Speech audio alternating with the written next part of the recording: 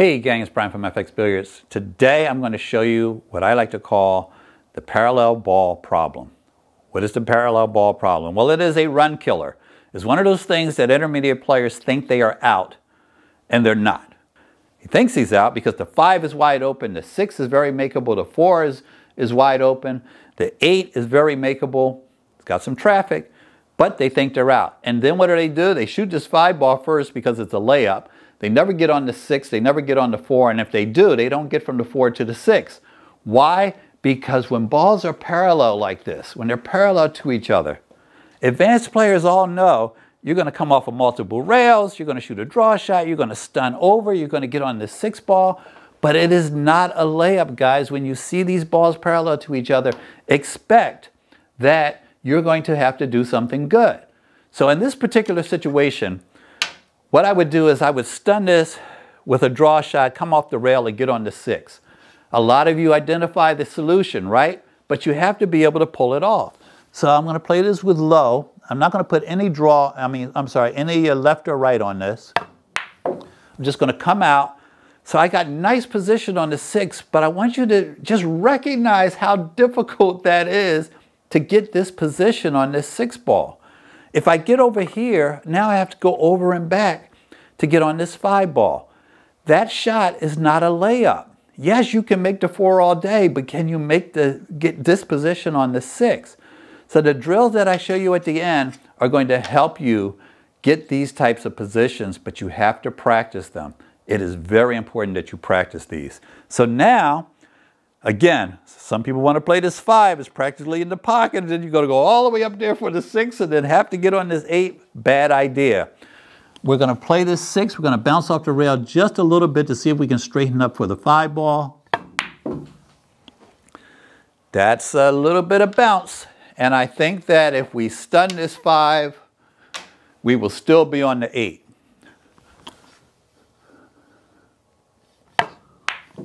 But I want you to identify just how easy that looked, but how difficult it was to pull off. Practice the drills at the end of this video. Practice the drills at the end of this video if you want to get good at this because if you see this, the situation early in the rack, you've got to get rid of it. If you don't manage to get rid of it, you got to be able to play it. And you can't just hope that you're going to get from that four to the six and the six to the five.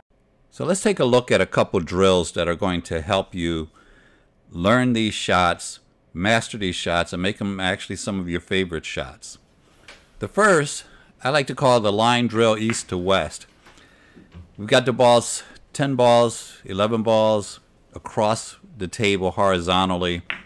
And the first five shots, I want you to notice, if you had this situation in the example that we gave, you would get from that 4 to the 6 or the 6 to the 4 pretty easily by cutting the ball in and using the rail the way I am on these shots. So the first five shots that you saw would all put you on that run out that we looked at. This shot, I'm just going to come off the rail to get shape on the rest of the balls. But after that shot, we're simply going to shoot a series of short draw shots. When these balls are parallel to each other, very often, a short little draw shot like this will allow you to control the situation. Sometimes you don't have to come off the rail, sometimes you don't have a choice about it.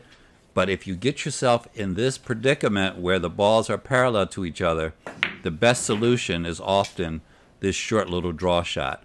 Far too many players do not have this shot in their game. I know guys that can draw the ball 8 feet down table and can't draw it 12 or 14 inches to get shape on each of those five balls the way we looked at. So not only do you want to work on that, but spread the balls out, move them to different locations on the table, still parallel to each other. You don't have to shoot them in sequence like I did in the first example. You can just work your way around, get shape from one ball to the other.